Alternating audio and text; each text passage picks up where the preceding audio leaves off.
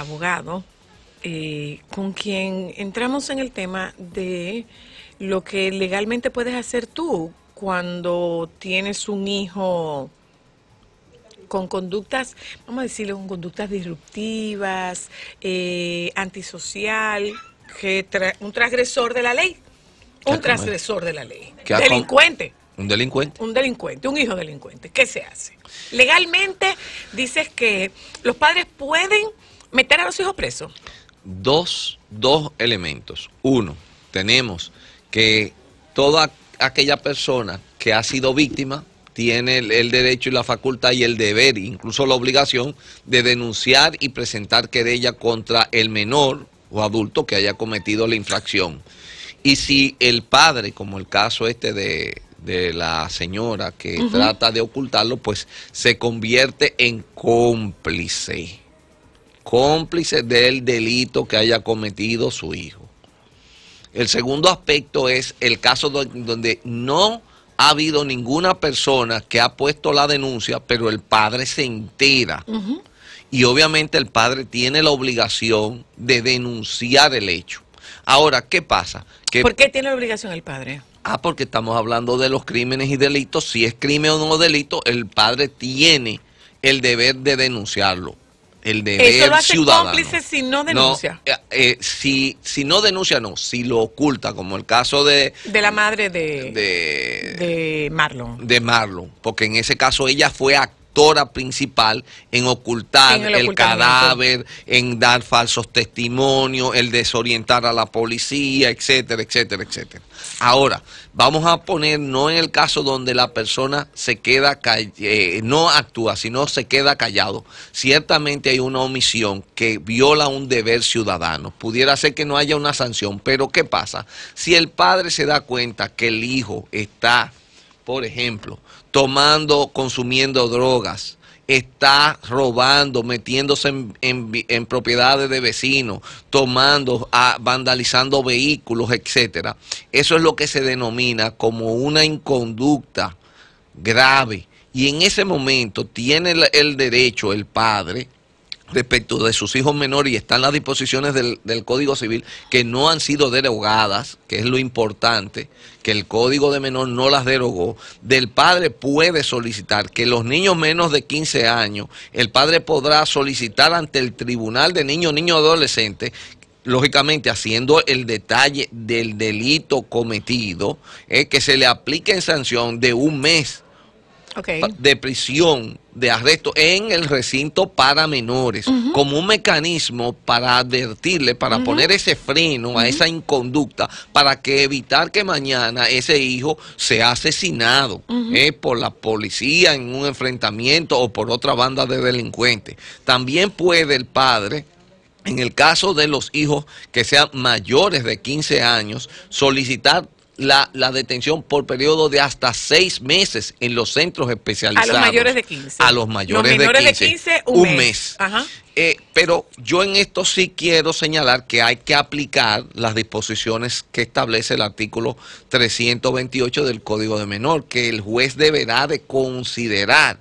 ¿Y qué son? Deberá de hacer un, un, un análisis, a entrevistar al menor, a entrevistar a los padres, buscar o recaudar la prueba eh, presentada por el fiscal que haya comprobado la comisión de un hecho o una infracción de naturaleza tal que amerite ese castigo. La valoración psicológica y sociofamiliar del adolescente imputado. Que la sanción sea proporcional y racional a la falta cometida, la, edad del adolescente y si existieren algunas circunstancias personales o familiares que o lo agravan o le sirven de atenuante y tomar todas las medidas y impartir las instrucciones necesarias para que en el centro al que sea remitido se le apliquen una educación llevada a corregir el comportamiento. Ah, pero eso de afuera, de aquí.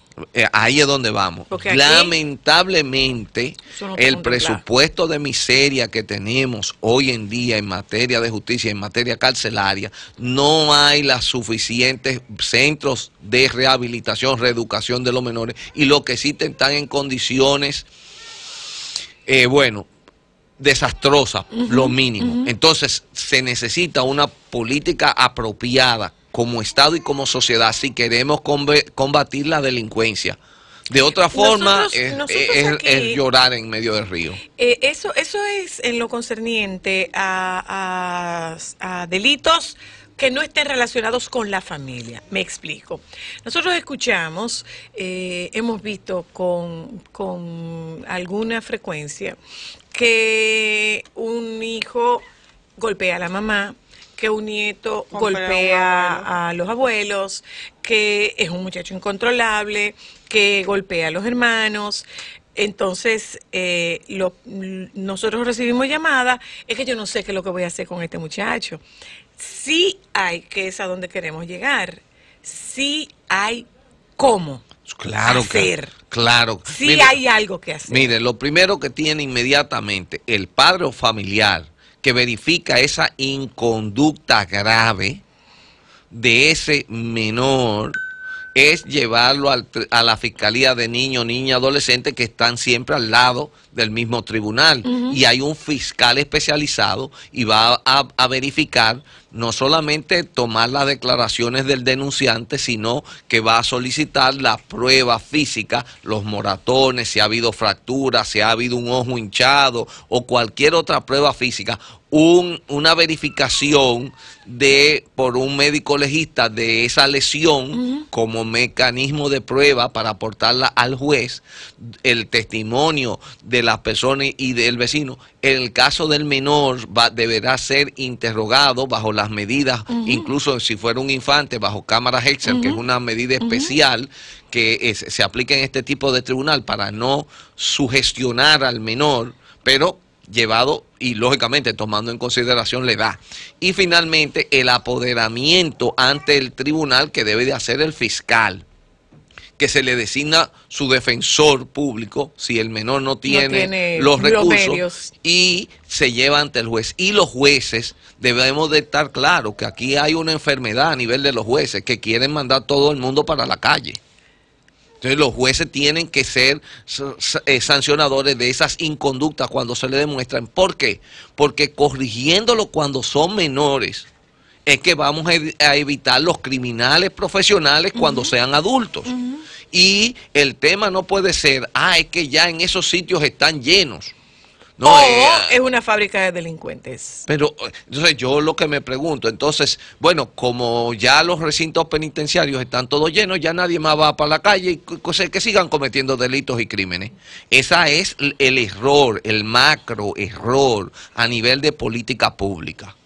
Y eso es lo que es parte del daño que estamos haciendo. Tenemos dos daños. El daño cuando se ve que se cometen crímenes y delitos a los más altos niveles, que eh, eh, genera un efecto de cascada en, la población y en los menores que dicen que yo puedo cogerme lo ajeno, que yo puedo robar, que yo puedo matar porque fulano hizo esto o aquello y no hay sanción, número uno. Y número dos, cuando de manera particular hice tal delito, cometí tal falta y al final el sistema, el padre lo ocultó, los vecinos no denunciaron, el fiscal recibió una llamadita o el juez le aplicó una pena leve. Entonces todos estos efectos son los que nos llevan. ¿Cuál es nuestra jurisprudencia con, con los padres? Cuando hay casos, o sea, nosotros tenemos ahora mismo el caso eh, Marlon, que es un caso que ha escandalizado la sociedad, y la madre de este joven eh, se presenta ante los medios de comunicación en una farsa pidiendo que a Marlin, que a Emily que, que venga, que llegue, que la familia está desesperada buscándolo. Entonces, eso tiene notoriedad pública, pero hay casos que no tienen ese nivel de notoriedad y no se procede o sí se procede. Mira, eh, en, lo, en la mayoría de los casos que la fiscalía puede detectar complicidad de por parte de los padres los está sometiendo. Y me consta que incluso en el caso de los abusos de los mismos hijos dentro de la familia por el tema de, de los delitos sexuales y la violencia sexual intrafamiliar eh, he, notado que ciertamente la Fiscalía está haciendo un ejercicio muy apropiado, tratando de determinar la responsabilidad penal, la complicidad de la madre o del padre cuando viendo el abuso que se está cometiendo, eh, no toma acción. Y vemos un caso eh, reciente que hubo en la región sur, que incluso algunos me llamaron para preguntar si era yo. Se llama Manuel Olivero, el imputado, pero no, no es familia mía. No. Ok, entonces eh, que le, quemaron su partecita a una niña. Sí, sí, porque se hizo pipí en la cama. Entonces, frente a esa, a ese, a ese, esa, esos son golpes y heridas cometidos en, una violencia brutal, contra una, a una menor. Entonces, obviamente, eso requiere que haya sanción no solamente para el padre que lo hizo, sino también para la madre que lo permitió. Es complicidad. Si estuvo ahí presente y permitió que eso eh, sucediera y no lo denunció, ¿eh? entonces hay una complicidad. En el caso de, de, Marlon, definitivamente, ahí yo lo único que lamento es que la situación del cómplice no se le aplique la misma pena. No es la misma pena. No, es, inmediata, inmediata inferior. Es la inmediata inferior al, al, crimen. En este caso, si se pudiera demostrar que hubo asesinato que es de 30 años, la inmediata inferior sería de 3 a 20. De 3 a 20. A 20 años. Pero lamentablemente, yo no sé, porque de verdad que el, encubrir un hecho tan horrendo de esa manera y el tiempo y dar las declaraciones públicas, hasta dónde no debería de ser sancionado con la misma severidad oh, que el autor, autor material. Entonces, y hasta dónde estuvo en el tema previo de la planificación del hecho.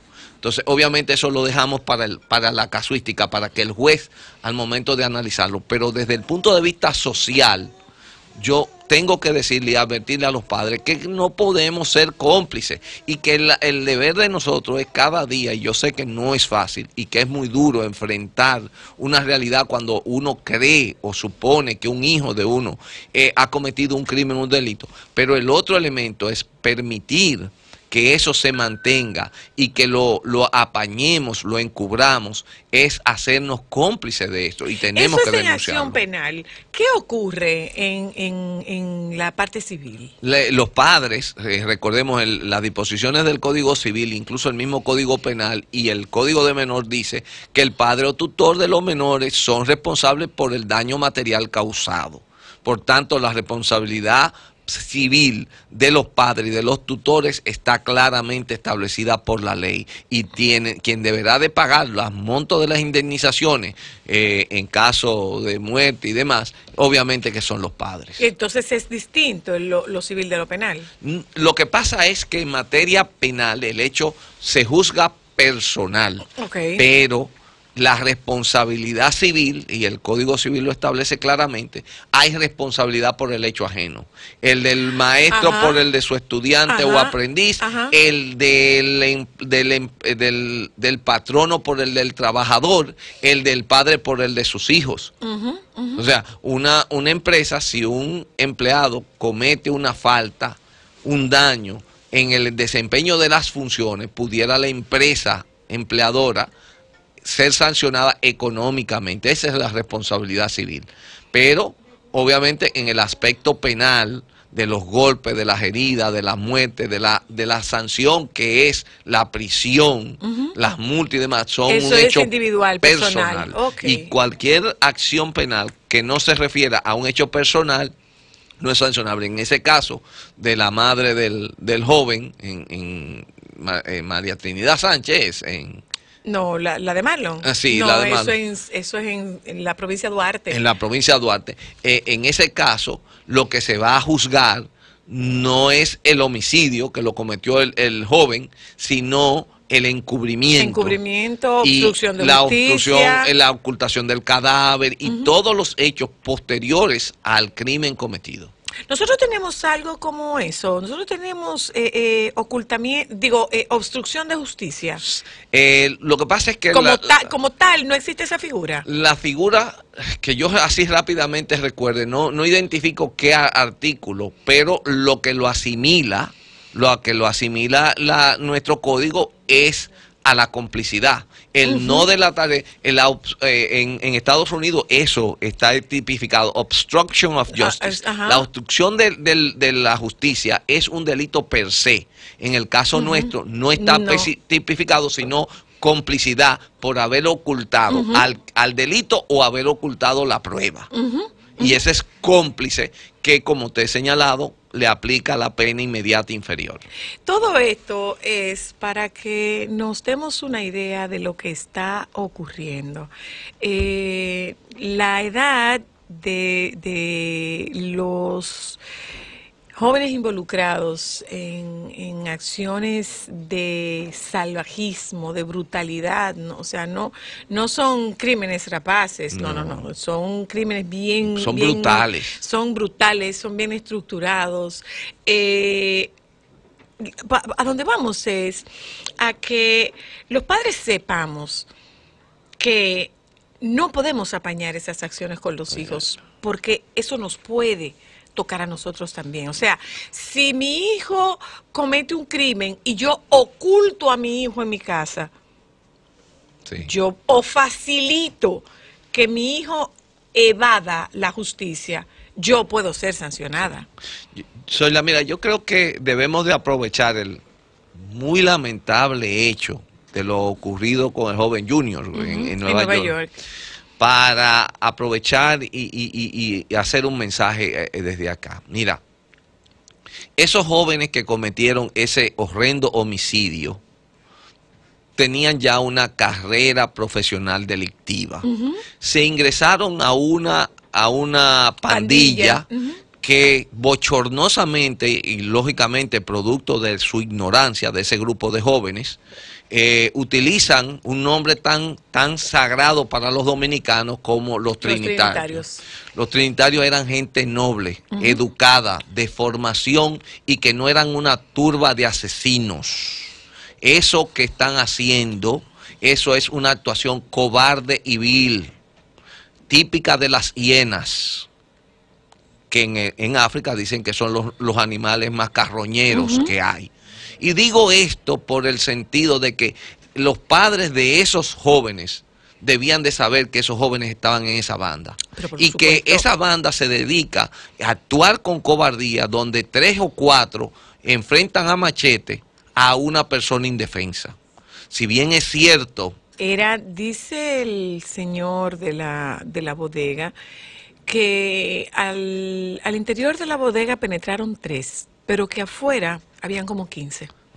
Y yo, y yo reflexiono y le digo, los trinitarios, y se dice que los dominicanos peleaban a carga de machete, sí, ciertamente los dominicanos peleaban a carga de machete, pero contra una tropa española portando fusiles, eso es de hombre valiente, y no 15 contra un niño, eso es de un grupo de cobardes que no tienen pantalones para enfrentar a puño y para cobrar en turba a un simple indefenso.